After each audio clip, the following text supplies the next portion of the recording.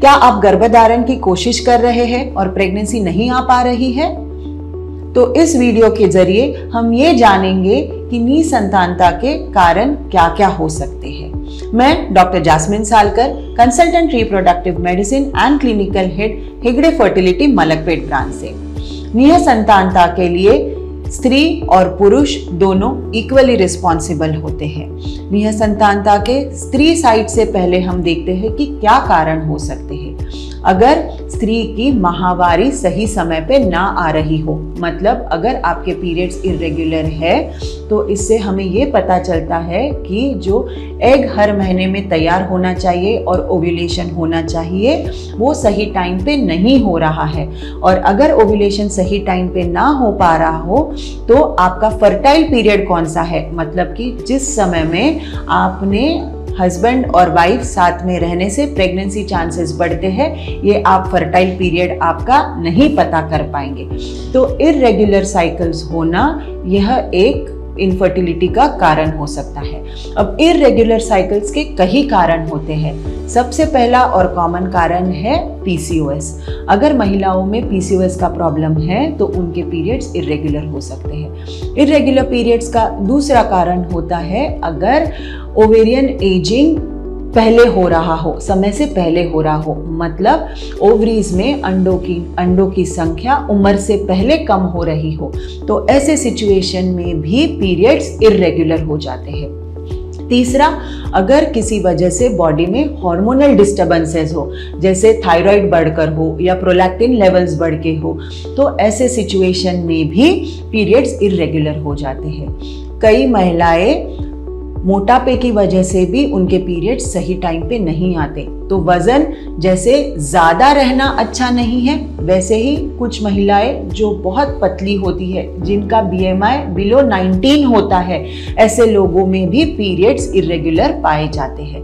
तो irregular periods जिसकी वजह से प्रेगनेंसी नहीं आ रही है, इसके कई कारण होते हैं, जिसे आप आपकी फर्टिलिटी स्पेशलिस्ट के पास जाके जाँच करके पता करें।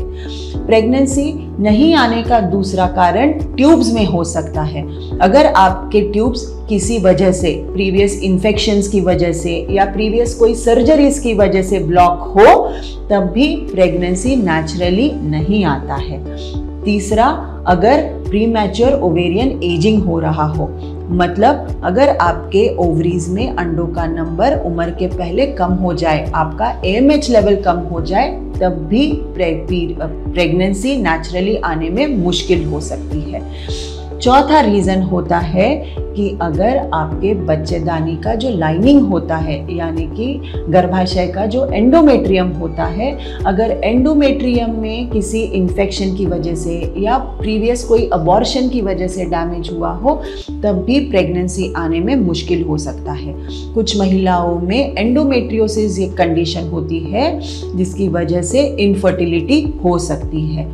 कुछ महिलाओं में फाइब्रॉइड्स होते हैं, जो कि बहुत बड़े साइज़ के होते हैं मल्टीपल होते हैं, जिसकी वजह से भी हमारे ट्यूब्स और ओवरीज का रिलेशनशिप ऑल्टर होकर प्रेगनेंसी आने में मुश्किल हो सकती है। तो ऐसे कुछ कारण हैं जो महिला की तरफ़ से हो सकते हैं। लेकिन जैसे महिलाओं की तरफ़ से इनफर्टिलिटी के कारण होते हैं, उसी तरह पुरुषों में भी कुछ कारण हो सकते हैं। अगर पुरुषों का वीरियम शुक्राणु का संख्या कम हो या फिर उसकी गतिशीलता कम हो या स्पर्म का नॉर्मल शेप कम हो, ऐसे सिचुएशन में भी नेचुरली प्रेगनेंसी आने में मुश्किल हो सकती है।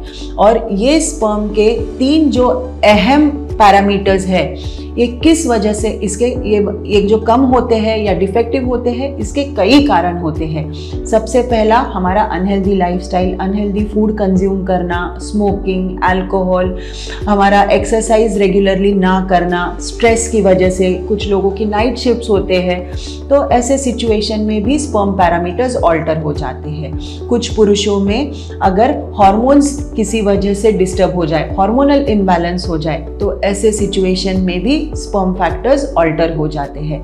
तीसरा, अगर डायबिटीज़ थायराइड कंट्रोल में ना हो तो ऐसे सिचुएशन में भी स्पर्म्स का प्रोडक्शन कम होता है और उनकी मोटिलिटी यानी गतिशीलता और नॉर्मल शेप पे असर पड़ता है। अगर पुरुषों में भी मोटापा हो या उस वजह से उनका शुगर बीपी कंट्रोल में ना हो, तब भी ये स्पर्म फैक्टर्स ऑल्टर हो सकते हैं। तो पुरुषों की तरफ़ से प्रेगनेंसी ना आने के ये कुछ कारण होते हैं।